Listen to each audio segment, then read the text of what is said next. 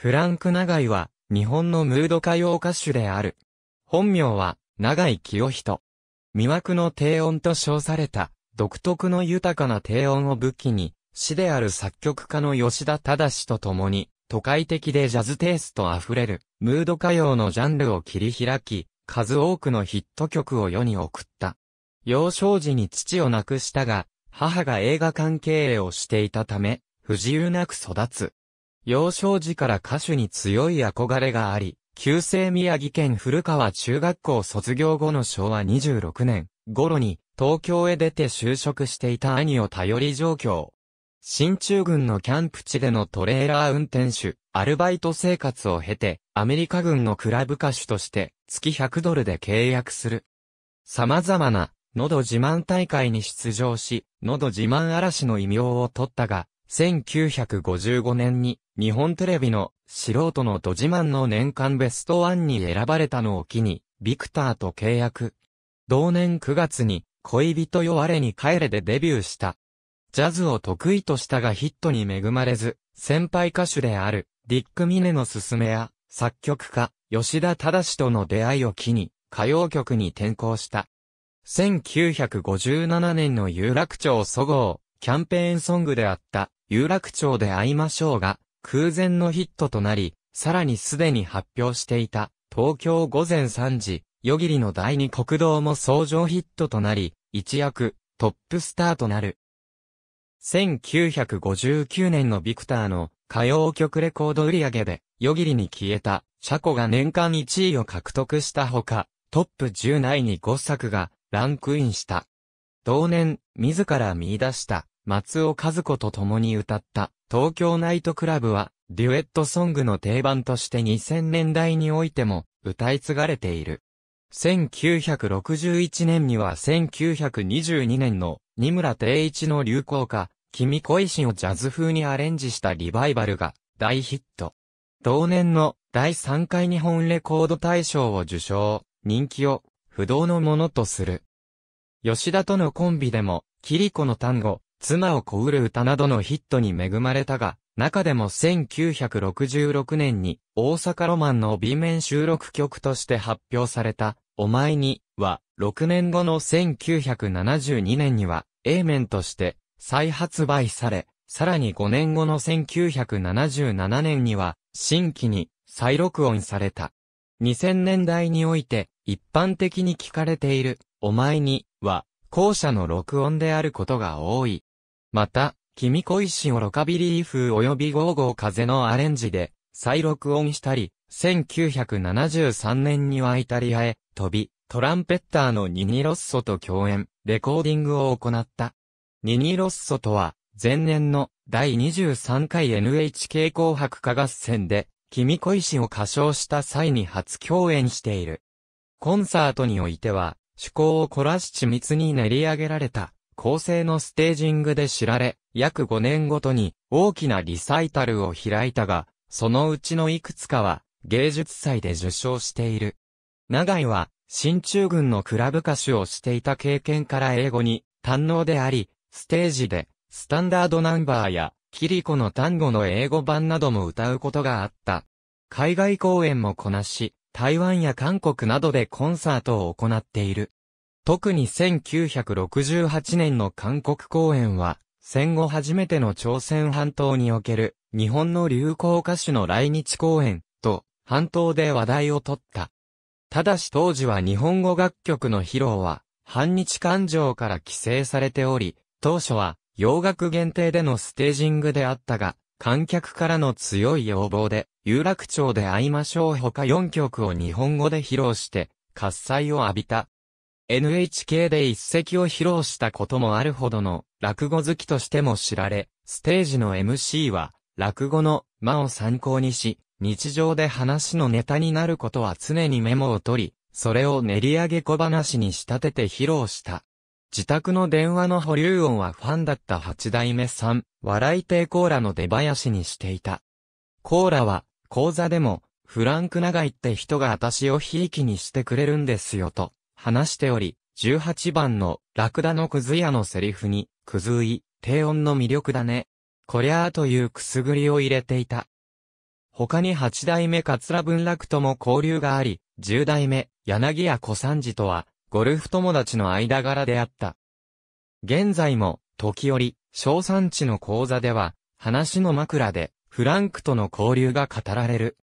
また牧真治も、持ち芸の、ウクレレ漫談で、フランク長井は、低音の魅力、牧真治は低能の魅力というネタを披露していた。日本レコード大賞では大賞を1回、歌唱賞を2回、特別賞を3回受賞している。NHK 紅白歌合戦の常連出場者としても知られ、1957年の第8回から1982年の第33回まで連続26回出場し、現役出場時は島倉千代子と並んで最多出場者の記録を持っていた。昭和50年代以後も、お前に、公演の手品師、ウーマンなどヒット作や話題作を送り出し、1980年代に入ってからも自身の歌の原点であるジャズスタンダードを精力的に歌い始めるなど、歌謡界には比較的珍しい非演歌系の大御所歌手として存在感を示していた。しかし1983年の第34回 NHK 紅白歌合戦は落選となった。このことは当時の長井にとって大きなショックだったとも言われ、自身は今年の紅白は見る気にはなれないとコメントしていたという。その後は自殺未遂事件の影響で紅白歌合戦へのカムバック出演を果たすことはできなかった。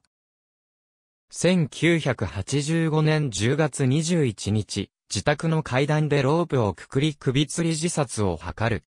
その数分後に、長井夫人によって発見され、発見が早かったこともありかろうじて一命は取りやめた。だが脳に障害が残り、会話が不自由となったほか、記憶が乏しくなるなどの後遺症を患ってしまう。自殺を図った原因は、当初は NHK 紅白歌合戦の不選出による今後の歌手活動を悲観してのことかと思われたが、その数日後に、長井の愛人との間の子供の認知と養育費の請求を苦にしたものと報道された。しかし遺書等はなく、また本人が自殺未遂前後の記憶を喪失していたため、長井がこのことについて語ることは、生涯なく、自殺未遂事件の真相は不明のまま終わっている。なお、自殺未遂後に、愛人側が認知を求めて起こした裁判の際に DNA 鑑定を行うも、愛人と長井との子供である確率は、極めて低いとの結果が出ている。一時は、リハビリ治療によって看護師と冗談が言えるほどにまで回復し、早期復帰の見込みも立ったほどであった。しかしその後はそれ以上回復しなかったばかりか次第に悪化し始める。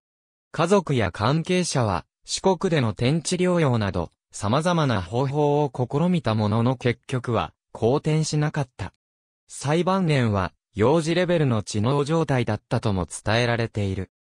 やがて周囲も復帰は、絶望的と見切りをつけるが、恩師の吉田忠だけは最後まで諦めず長井をよく見舞い、周囲にもフランクに歌わせたい曲がいっぱいあるんだと語っていた。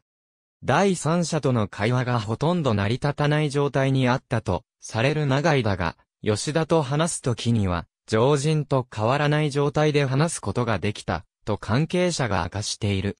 1959年に結婚して、以来、愛妻家として知られたが、夫婦の間に子供はなかった。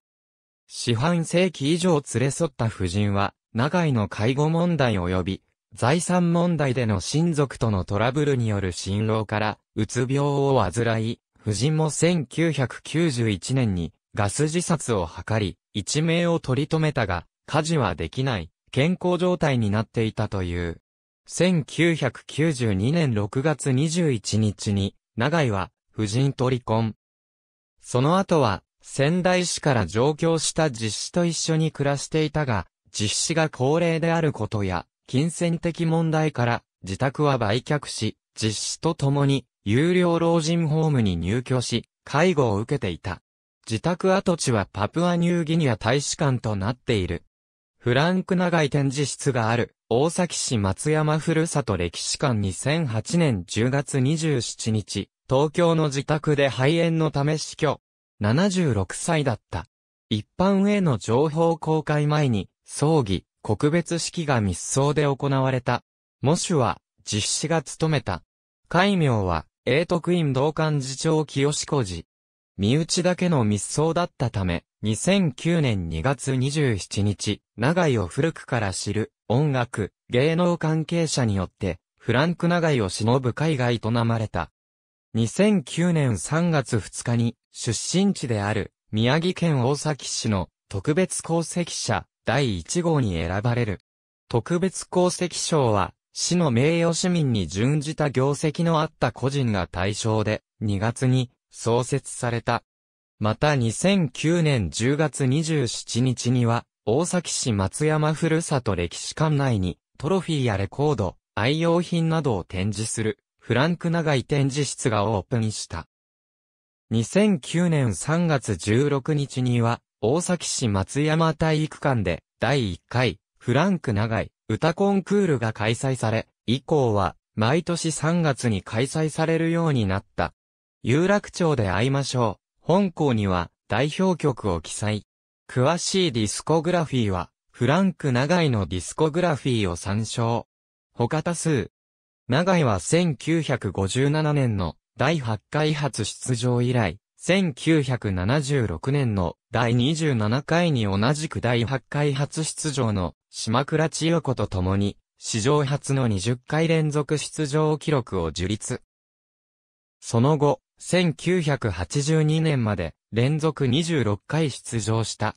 また南春夫が1984年に27回目の出場を決めるまで白組の史上最多出場者であった。ありがとうございます。